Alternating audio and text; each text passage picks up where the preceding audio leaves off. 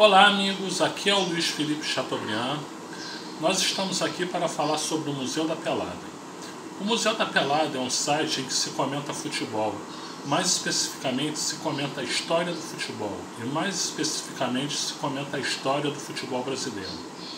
O objetivo é resgatar aqueles jogadores do passado que não mais estão presentes na mídia e mostrar para as gerações atuais o que, que eles fizeram pelo futebol quais foram os grandes jogadores, como eles jogaram, onde eles jogaram, quais os grandes jogos que fizeram, qual o legado que deixaram.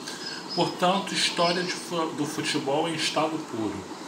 É, lá no site do Museu da Pelada você vai encontrar resenhas, textos, entrevistas, confraternizações, enfim, um vasto material sobre futebol e especificamente sobre a história do futebol. É um projeto muito bem concebido pelo Sérgio Pugliese, que é um grande jornalista, vencedor de dois prêmios ESSO, e um grande ser humano também. E uma equipe de colaboradores, dentre os quais eu estou incluso, que faz o site acontecer junto com o Sérgio Pugliese. Vem conhecer nosso trabalho www.museudapelada.com ou então você encontra o Museu da Pelada no Facebook, são quase 150 mil adeptos.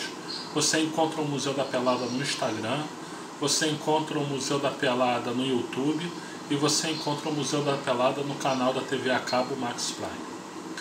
Bom, gente, sempre que eu falo aqui do Museu da Pelada, eu engato com algum assunto de futebol.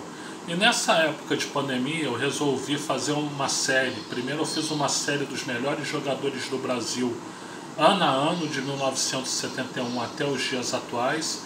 E agora eu estou fazendo uma série com os melhores jogadores do mundo, ano a ano, de 1971 até, 1900, até os dias atuais. E nós chegamos ao ano de 1993. Então a pergunta é: quem foi o melhor jogador do mundo em 1993?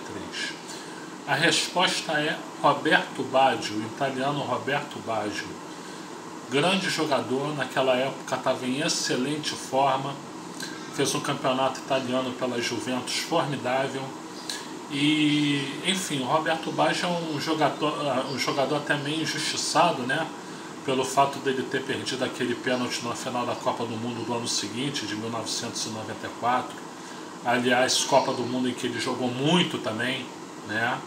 É, e ele perdeu o pênalti aí as pessoas não dão tanto crédito ao Roberto Baggio como ele merecia. É um jogador espetacular, muita movimentação, muita técnica, lançamentos precisos, dribles na hora exata, gols. É, assim, grande jogador. É, o Roberto Baggio ele tinha como garoto ídolo de infância o Zico, na época que o Zico foi jogar na Itália, né?